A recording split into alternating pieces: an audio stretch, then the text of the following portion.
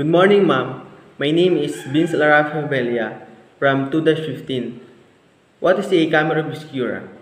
In its simplest form, a camera obscura is a dark room with a small hole in one wall.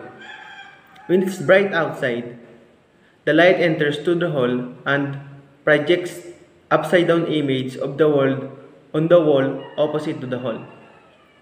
Also, the name camera obscura is actually Latin and translate to dark chamber. The materials I use are empty box, empty can, stick glue, tissue paper, and rubber band, coupon band, and Elmer's glue. So, eto na po yung finished project.